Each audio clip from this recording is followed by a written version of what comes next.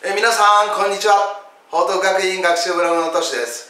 今日は中学1年生の数学、えー、一次式の除法、ね、割り算について説明します。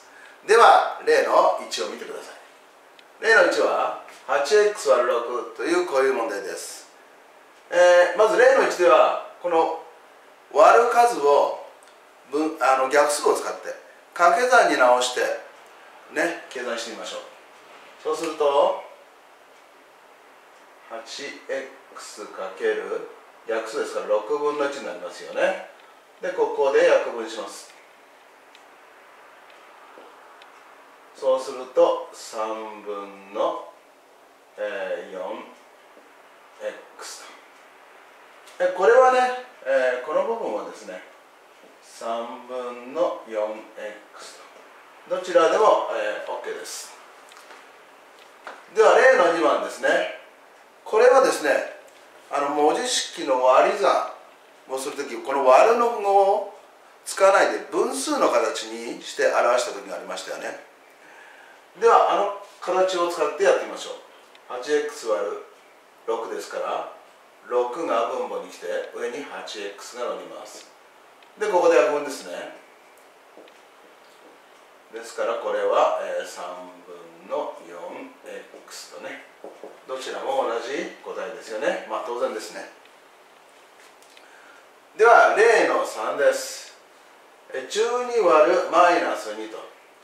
この文字の係数を後ろの割る数でで割り切れちゃう時。もうそのまま割り算しちゃって構いません。12割るマイナス2はあって。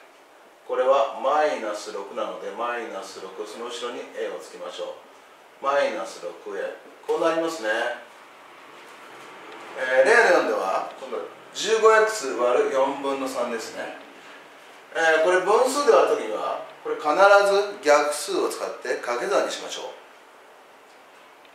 15x かける3分の4とこういう形になりますね。で当然約分します。は1になってこれが5になりますね。そうすると5 4 20でその後ろに x と。答えは 20x というふうに出てきます。え例5からはこれ一次式ですけど一次式がこっちは単項式だったんですけれど多項式、ね、多項式、ね、の一次式。割る数字。えー、この場合について、えー、考えてみます、えー、この場合まあいっぺんにねこう16も8も4で割れるんで、ね、16a 割る4も16割る4で 4a 足す8割る4で2もう早い人はこう出せると思うんですけれど基本形は一応この割る4を乗法に変えます。でできる人は別にこちらでも構わないんですけどね。まず基本を使ってやってみましょう。そうすると括弧 16a 足す8括弧かける4分の1と。こうなりますね、えー、そうすると、えー、分配法則で 16a かける4分の1足す8かける4分の1と。ちょっと下かぶっちゃうんで後ろにいきますね答え。約分します。そうすると 4a 足す2と。こういうふうに、えー、計算ができますと、えー、この場合も、えー、同じですけれどでこちらは今度逆数使わないで掛け算に直さないでそのままどちらも割り切れるので、ね、マイナス2で割り切れるので、えー、そのままで計算してみますね。ただし気をつける。ところがあります。ここの符号ねマイナスの符号ついてますよね。ですから暗算で計算するときにも必ず符号には気をつけてください。で 12y 割るマイナス2ですから正の数割る負の数ですから、えー、答えは負の数で出てきます。マイナス 6y でマイナス4割るマイナス2負の数割る負の数ですから答えは正の数で出てきて足す2と、えー、こういうふうにできますと、えー、例7です。括弧マイナス b 引く6括弧割る3分の1分数ですね。割る数が分数の時にはこの場合と同じです。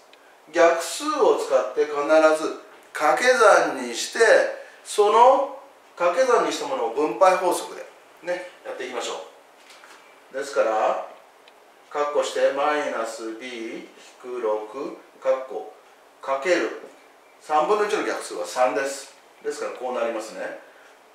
で、え掛け算。マイナス b かける3でマイナス 3b マイナス 6×3 でマイナス18と。えこれが答えになります。よろしいでしょうか、えー、皆さんはどうぞこの動画を参考に教科書や問題集の問題に取り組んでください。今日も最後まで見ていただいてどうもありがとうございました。ではまたお会いしましょう。さようなら。